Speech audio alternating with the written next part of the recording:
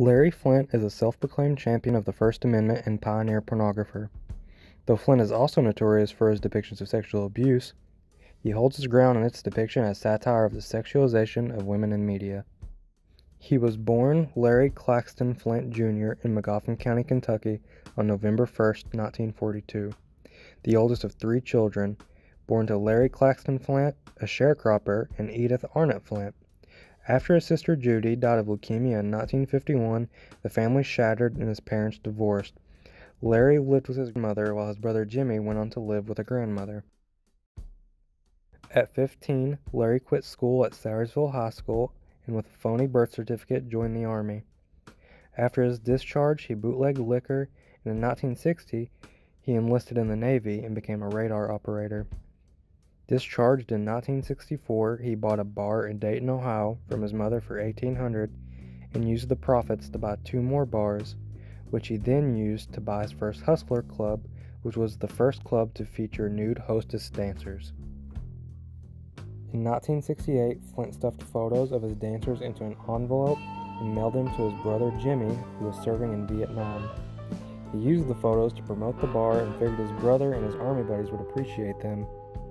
Back home in Dayton, Larry was learning soldiers weren't the only ones eager to see images of his dancers, and after purchasing a tabloid called Bachelor's Beat in 1968, Flynt turned it into a promotional vehicle for his dance club. Larry knew he was onto something. His target audience was always the blue collar man, so he decided he was going to make content he felt would appeal to their fantasies more than publications like Playboy or Penthouse. By 1974, he was the owner of eight dance clubs in Ohio and the publisher of a promotional newsletter called The Hustler, which would become the same Hustler that is still published today. Hustler found a hard time gaining its footing with the other popular porn magazines people were used to at the time. However, things were about to change for the better Hustler gained international attention with the publication of nude photographs of Jacqueline Kennedy Onassis taken by paparazzo as she sunbathed on a beach. Larry bought the pictures for 18000 and quickly sold a million copies of the issue that featured them. Throughout his career, Larry faced numerous legal battles. However, 1976 was the first time Larry was prosecuted the charges being obscenity and organized crime charges for selling obscene material in Cincinnati. Larry lost on both counts and was sentenced to 7 to 25 years, but he only served six days, and the conviction was overturned on grounds of prosecutorial misconduct and judicial bias. On March 6, 1978, during a legal battle related to obscenity in Gwinnett County, Georgia, Flynt and his local lawyer, Gene Reeves Jr., were returning to the Gwinnett County Courthouse when they were shot on the sidewalk. The sniper fired two shots, striking Mr. Flynt in the stomach and lower spine, leaving him with paralyzed legs and in pain for the rest of his life.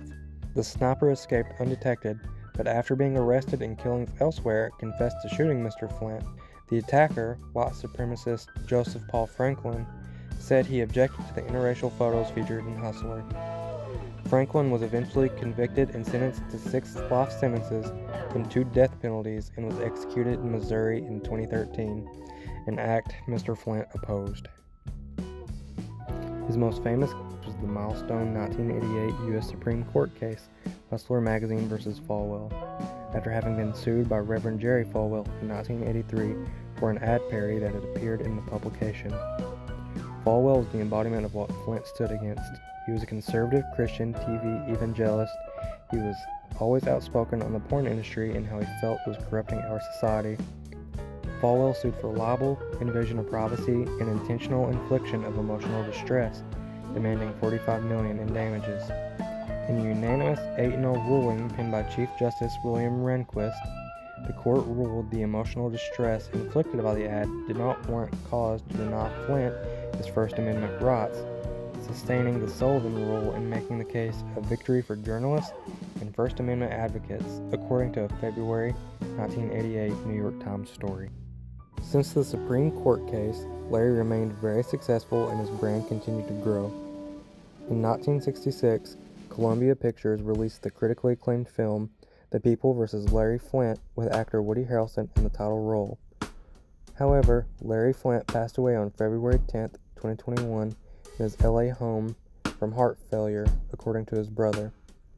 Larry Flynt came a long way from his humble beginnings in the small East Kentucky county of Magoffin, owning a multi-million dollar porn empire and authoring several books and even having a feature film made after his many adventures in the industry.